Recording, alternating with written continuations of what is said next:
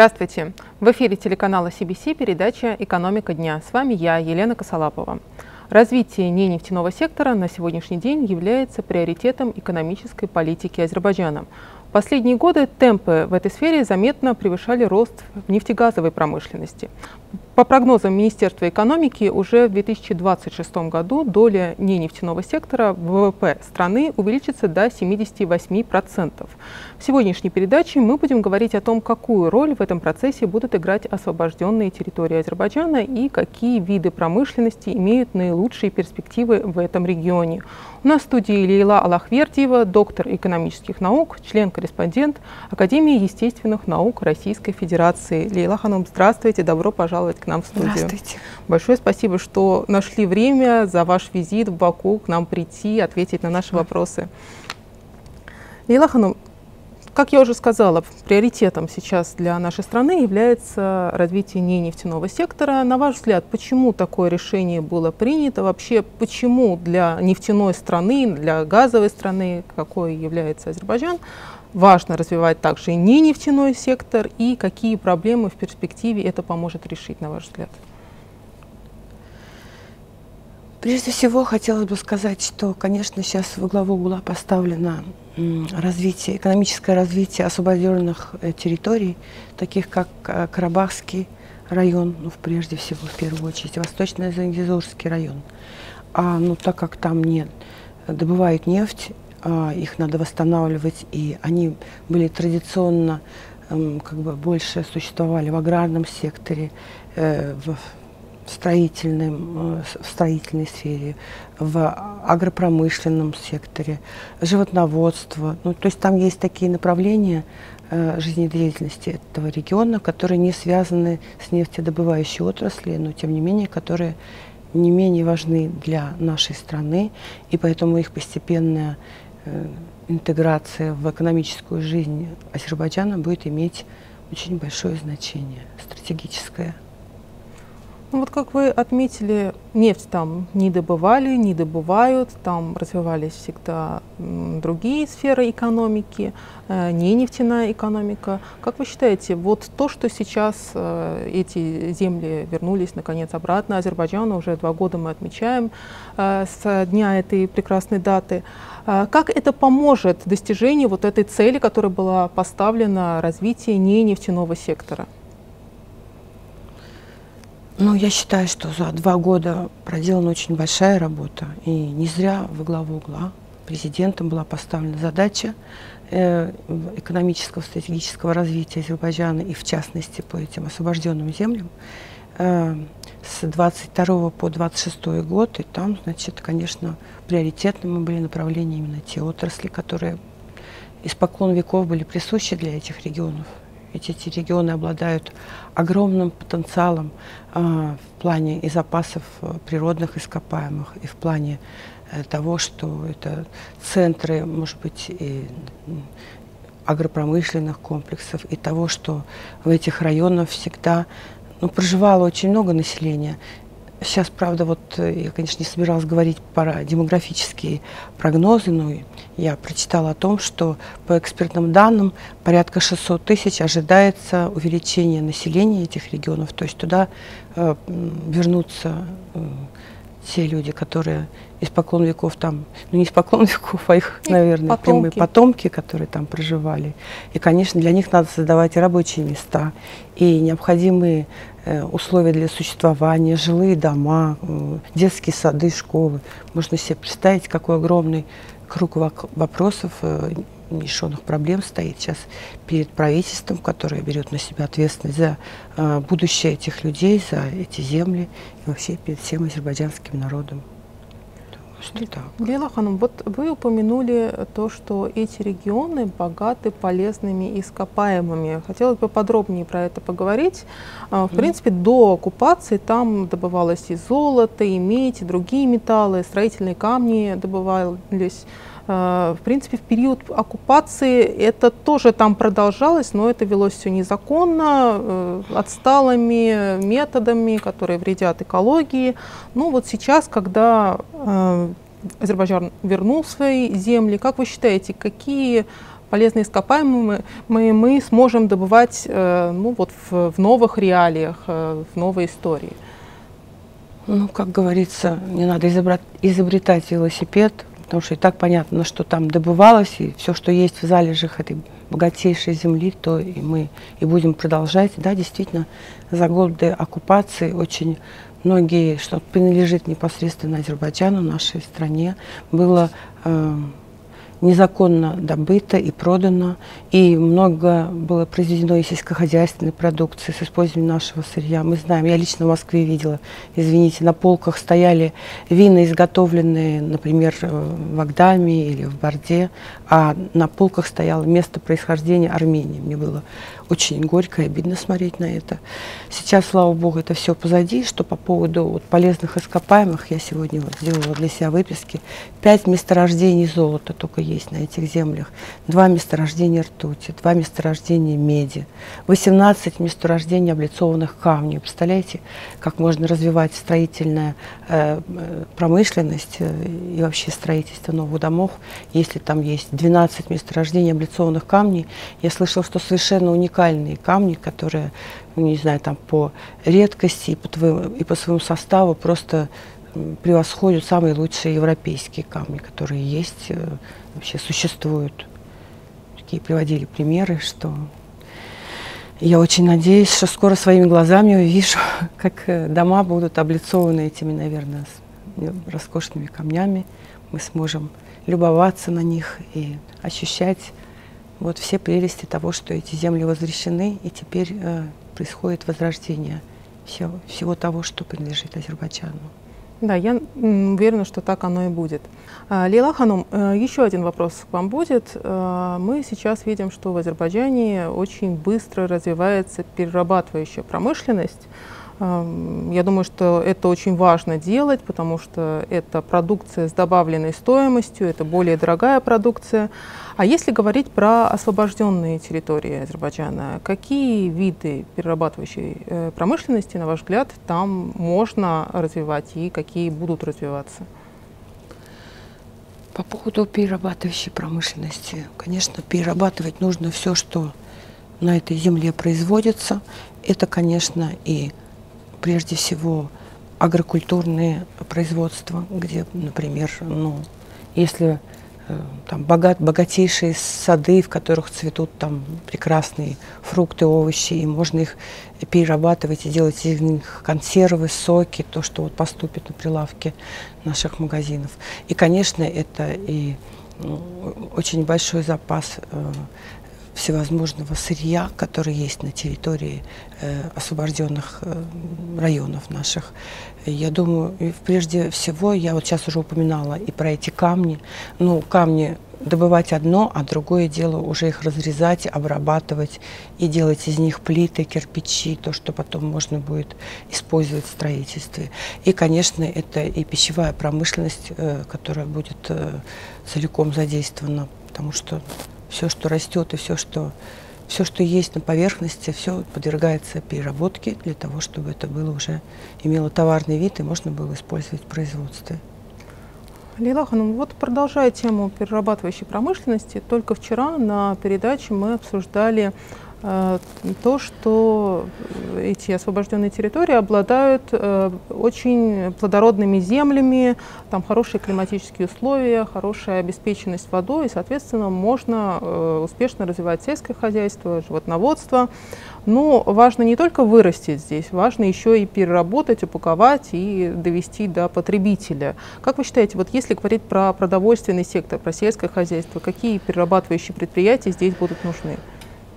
Ну, прежде всего для животноводчества, потому что, конечно, традиционно этот регион всегда отличался тем, что здесь э, всегда была успешно развивалась животноводческая культура, и вот в первую очередь необходимость.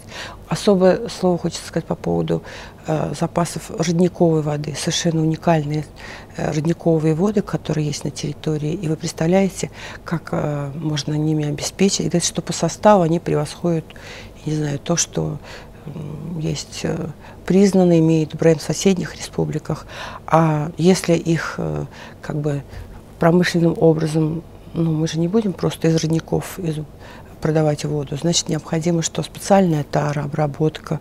Вот, э, по-моему, три или четыре месторождения какой-то уникальных запасов воды я там видела, слышала, что можно это продолжить. По поводу садов цветущих я уже говорила. Ну и ну, нельзя не сказать, конечно, в этой связи и по, про э, запасы зерновых культур. Там можно это... Э, а, молочная продукция. Молочная продукция тоже всегда была ключевым сектором пищевой промышленности э, этого региона. И я думаю, что очень большие резервы хранятся также и в переработке э, значит, э, молочного сырья, потому что как говорится, там уже сейчас, на сегодняшний день, несмотря на то, что большая часть территории еще не разминирована, но уже сейчас пасутся овцы, там козы, коровы, и можно представить себе, э, какой огромный потенциал в плане э, молочного сырья, молочных продуктов есть. Надеюсь, наставит время, и мы будем покупать не только ивановскую продукцию в магазинах, но и то, что будет произведено в Карабахе, на этих землях. Лейла Ханум, ну вот вы, э, когда говорите, вы достаточно часто вспоминаете то, что было до оккупации э, в этом регионе, какие сферы промышленности, вообще сферы экономики развивались э, на территории, которая потом была оккупирована. Но насколько вот этот опыт сейчас важен, актуален, вообще стоит ли его учитывать при планировании экономики этого региона? Э, или все-таки 30 лет прошло, мир изменился, соответственно, возможно, сейчас какие-то другие приоритеты, другие сферы будут более важны и нужны? Ой, вы совершенно справедливо отметили, что, да, конечно, нельзя, как это, стоять на одном, э, э, как говорится, на одном уровне. Все время течет, все меняется, и сейчас во главе угла поставлено развитие зеленой энергетики, которая тоже это, э, этот край обладает огромными запасами, потому что там можно строить и, ну сейчас уже и строятся э, вместе совместно с иностранными партнерами и э, ветряные мельницы, и э, солнечные электростанции, и очень много запасов вот, биоматериалов, биосырья, которые при работке при переработке эти отходы могут быть э, использованы, например, при подогреве жилья, например, да, при сжигании они дают тепло. Это все зеленая экономика, которая сейчас во всем мире является очень востребованной. И думаю, что в этом регионе огромные резервы э, хранятся именно в этой области. А вот по поводу резервов, по поводу потенциала в сфере возобновляемой энергетики, э, какие направления в первую очередь, вообще насколько высоко оценивается потенциал этого региона? Ну, судя по тому, что уже имеются инвестиции и со стороны не только внутренние инвестиции иностранных партнеров. Мы сейчас уже уже строим совместную и солнечную электростанцию. Наши партнерами являются и, и, э, значит, Саудовская Аравия, и Объединенные Арабские Эмираты, Турция. Мы же уже, они уже и готовы вкладываться, и вкладываются. Мы уже строим вот такие предприятия. За этим будущее, конечно, прежде всего. А, вот а еще запасы, извините, запасы пресной воды. Э, по э, тем, как бы считается, что порядка 20% э, воды находится на территории Карабаха. То есть это же еще и строительство новых гидроэлектростанций. Их очень много было и до э, того, как они были освобождены. Но вы знаете, что последствия войны привели к тому, что многие взорвали, привели негодное существование, а сейчас будут строить, но уже строить не так, как это строили в советское время, а уже в соответствии с требованиями современного времени, с использованием самых высочайших технологий, которые позволят и экономить, и внедрять самые передовые методы. А вот то, что есть такой большой потенциал в сфере возобновляемых источников энергии, как это в целом поможет развитию промышленности? Ведь промышленность, она потребляет много электроэнергии, ну, соответственно, нужны электростанции. Если у нас такой э, план действий достаточно многообещающий, построить там целый ряд э, новых электростанций, восстановить э, те, которые были. Как вы считаете, в дальнейшем может ли этот регион полностью себя обеспечить электроэнергией для того, чтобы и другие сферы промышленности развивались? Знаете, я сейчас вспомнила, с чего начинается экономикс, э, что там в мире много проблем, но прежде всего самая главная проблема в современном мире – это ограниченность ресурсов. Но, к сожалению, все запасы электроэнергии, будь то там газ, нефть, э, запасы там, питьевой воды, они все ограничены. А если говорить о солнце или о ветре, они будут и были всегда, и поэтому, конечно, здесь огромные резервы. И как бы мы не использовали их, наверное, всегда будет в этом мире светить солнце нам и дуть, э, как это, дуть ветры, из которых будет создаваться вот это возобновляемые источники энергии, и которые можно будет использовать на благо этого благословенного края. А вообще вот генерация электроэнергии сама по себе, как вид промышленности, насколько это перспективно? Ну, вот мы видим, что сейчас, э, в принципе, потребность в электроэнергии растет по всему миру, наблюдается энергокризис. Вот в дальнейшем то, что мы строим такие электростанции, это поможет нам дополнительно получить какой-то доход? Конечно, безусловно. За этим будущее если сейчас их не строить, если во всем мире, сейчас весь мир на грани э, какой-то, вот, можно сказать, энергетической катастрофы, все уже думают тем обогревать дома, что вот не будет света, тепла, переходят на какие-то э, технологии экономные. А в этом на этой земле столько запасов, и за этим лежит будущее. Если есть эти запасы, почему сейчас не использовать во благо человека? И, конечно, это все требует инвестиций. Вся эта инфраструктура, чтобы ее создавать, необходимо вложение. И со стороны государства, и, конечно, желательно, конечно, со стороны наших иностранных инвесторов. Мне кажется, на сегодняшний день все в мире поняли, насколько перспективно и потенциально вот это направление. И у нас есть очень много партнеров зарубежных, которые готовы э, свои средства значит, э, вкладывать в экономику Азербайджана для получения соответствующей вот выгоды, пользы. Ну и понятное дело, что и доходов. А вот вы упомянули по поводу иностранных инвесторов, иностранных партнеров. А вообще, насколько важно их привлекать в этот регион? Что это может дать Азербайджану? Что мы в первую очередь ждем от иностранных партнеров?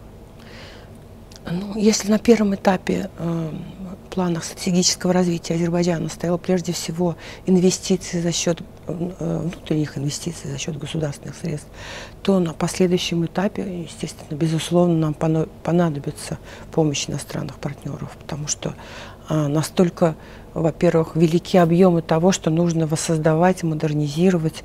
И, и, и потом это же очень перспективно. Они готовы и хотят. Мы уже сотрудничаем с Италией, с Германией, Британией, Великобританией, которые вот нам и помогают с разминированием территории, э, создают у них там какие-то совершенно уникальные технологии.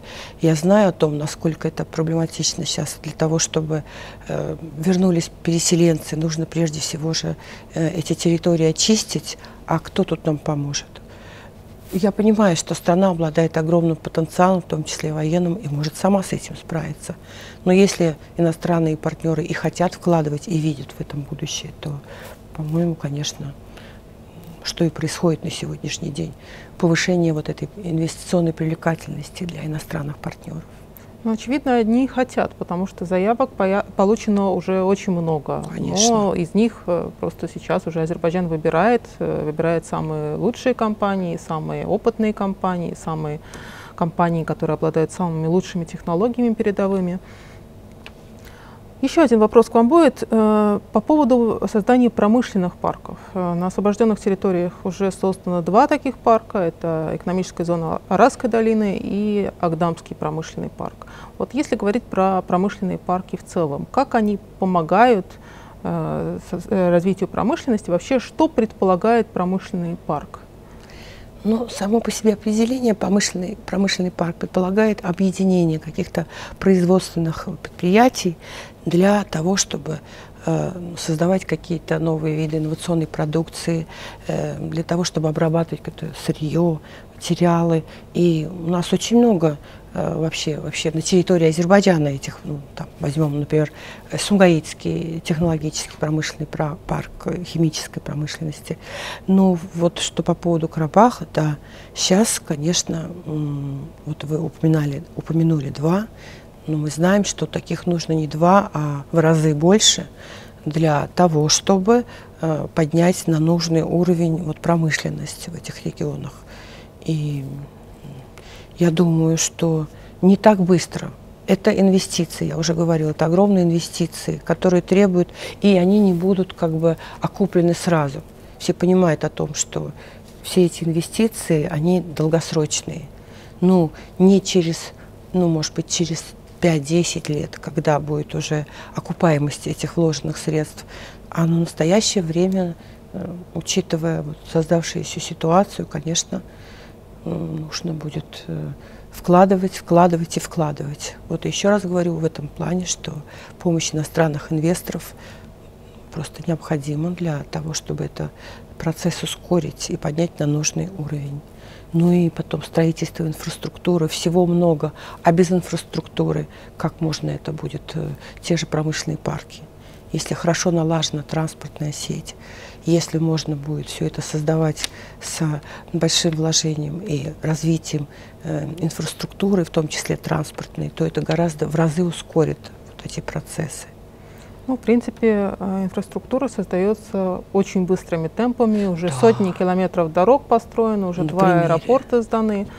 И эта работа продолжается в этом направлении. Поразительно, чтобы за 8 месяцев, да, вот, например, Зенгеландский аэропорт, чтобы за 8 месяцев открыть вот такого уровня международный аэропорт, который, ну, я уже не говорю по-физулински, который соответствует всем международным э, нормам, но это просто фантастика, что происходит. И я думаю, что вот эти коридоры, которые сейчас э, опять-таки поставлен во главе угла, что создать этот Зангизурский транспортный коридор, и все это, конечно, очень большое значение будет, ну, будет иметь для освоения этого региона и для его э, реинтеграции в экономическую жизнь страны. Лейла Ханум, я вот к вам как э, к человеку, который давно живет и работает в России, хочу обратиться. А вот э, по поводу сотрудничества с Россией для восстановления освобожденных территорий. Как вы считаете, в каких сферах здесь перспективно сотрудничество? Вообще, чем Россия может помочь? Ну, прежде всего, строительство гидроэлектростанций. Самый богатый опыт все-таки, я считаю, у России в этой области, правильно?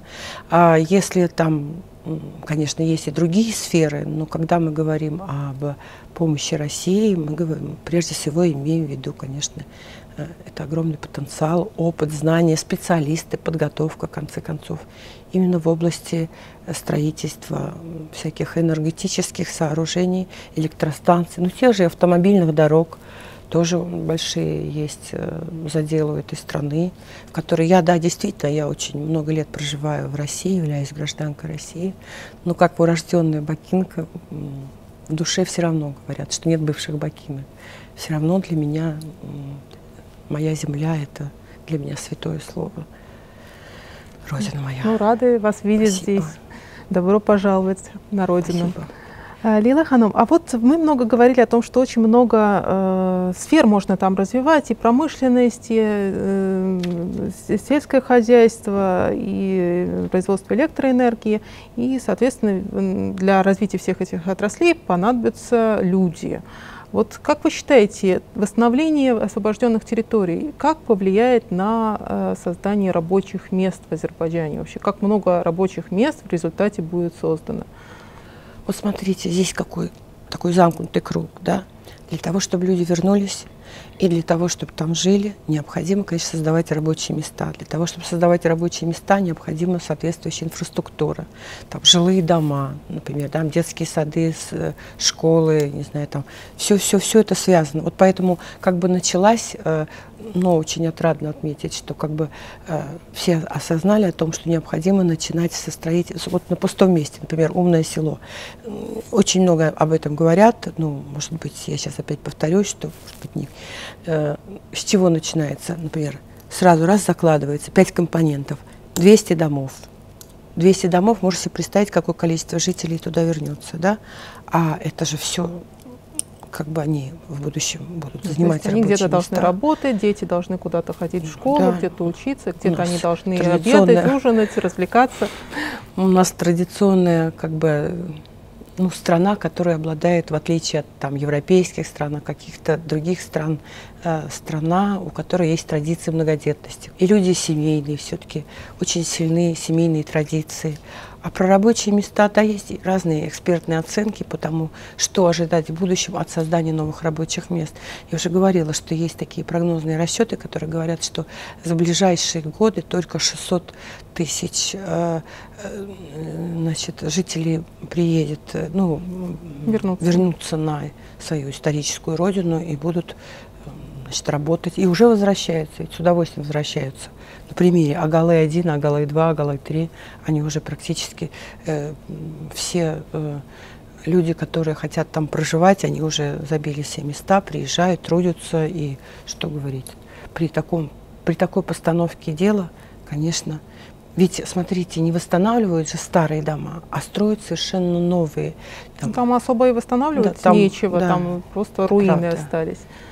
Но когда все с нового, ну как вот это все, умный город, умное село, это гораздо будет более эффективнее, чем все-таки восстанавливать старое, да, на пустом месте, но зато это уже э, будет то, что сделает нашу страну, конечно, я не знаю, там не буду сравнивать, конечно, там, с, с Дубаем или с чем-то там, но я думаю, что это позволит стране намного, во многом опередить э, другие страны. Это такое сказать. Было в свое время, помните, э, какое чудо азиатского тигра, когда страны после распада колониальной системы э, получили там активное развитие и смогли э, добиться огромных успехов. Там говорили о Малайзии, о Филиппинах, ну, конечно, прежде всего о Корее, там а многие страны, которые были где-то придатками колониальной системы, вдруг они, значит, вот сейчас в данном случае тоже пойдет речь о том, что произойдет какое-то чудо, и Карабах, ну, район станет вот своего рода таким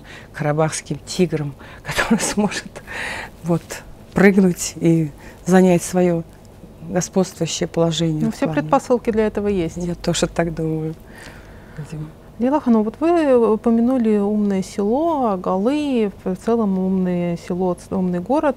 А как вы считаете, в чем его преимущество? Вообще, почему это более эффективно, как вы сказали, строить именно умный, э, умный дом, умный, умное село, чем обычный дом, обычное село? Ну, это, конечно, высокоэффективные технологии, ну, это просто поразительно. Я сама, конечно, не проживающая в умном доме, но очень много что, например, использую на примере, да, там, например, это, как она называется, лампочка Ян, Яндекса, который, там, говоришь, она зажигается разным mm-hmm. светом, холодильник, который там может заполняться, и это, ну, об этом только еще можно мечтать, как бы из области фантастики. А, а вот эти уже будут создаваться такие территории, где это уже будет вовсю работать и умное село, и умный город, и то, что будет использованы эти высокотехничные технологии, во-первых, позволит что? Ну, как там, управление через космос. Через космос можно видеть, где нужно что сеять, где нужно что собирать, где нужно строить дома.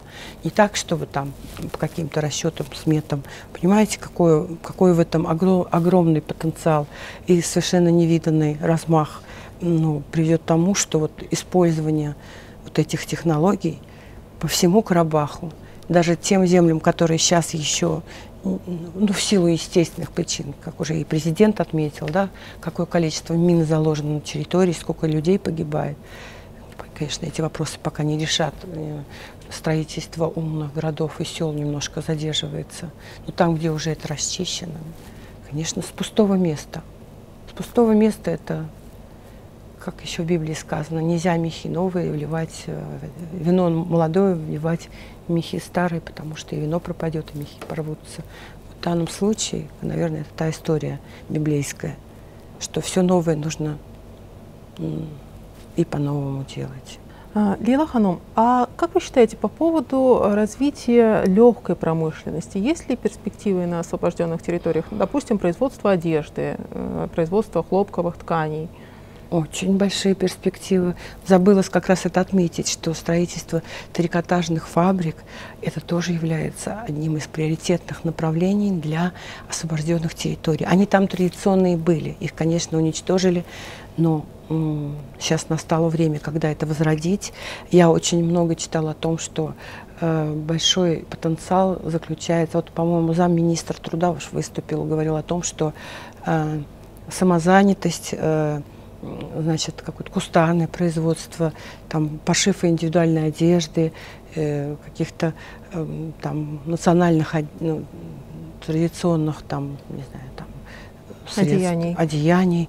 Очень большой потенциал, потому что, ну, смотрите, э, овцы традиционно э, из них шили шапки, там какие-то папахи, из них делали одеяло. Это же все в огромном количестве, там же какие пастбища богатейшие, да. И все вместе это не только вот для легкой промышленности, но и в плане для надомного труда, для самозанятости.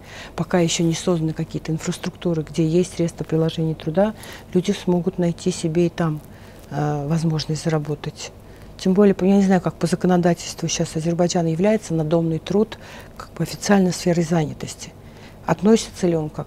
Ну вот в России сейчас принят закон о том, что вот надомный труд платишь налог, и ты являешься самозанятым. Ну, может ну, быть, скоро э, законодательство. открыть, э, стать частным предпринимателем и, соответственно, оказывать э, услуги. Так, так возможно.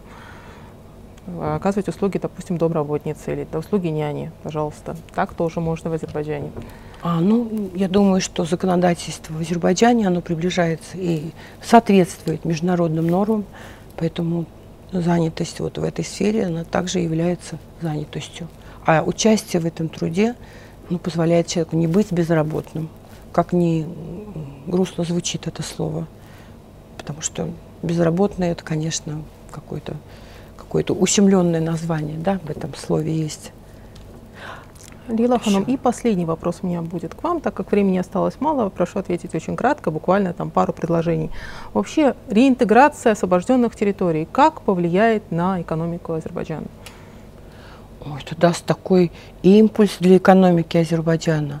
Я думаю, что, ну, есть такие прогнозные расчеты, мало что я могу думать, но то, что валовый внутренний продукт по, прогноз, по прогнозным данным возрастет в разы до трех с половиной раз, что это вот э, даст то стране, но опять-таки, конечно, не сразу, конечно, пока все это возродится, пройдет время, когда все это заработает как слаженный механизм, но это обязательно заработает и будет.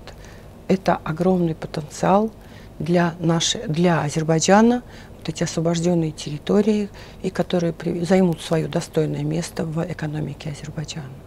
Спасибо большое, Лейла Ханум, за интересную беседу, что пришли к нам в студию. Спасибо. Напомню, что вы смотрели передачу «Экономика дня». С вами была Елена Косолапова. Говорили мы сегодня о возрождении промышленности на освобожденных территориях Азербайджана и о том, какой вклад эти территории внесут в развитие ненефтяного сектора страны. Беседовала я с Лейлой Аллахвердиевой, доктором экономических наук, членом-корреспондентом Академии естественных наук Российской Федерации. На этом я с вами прощаюсь. Всего доброго. До свидания.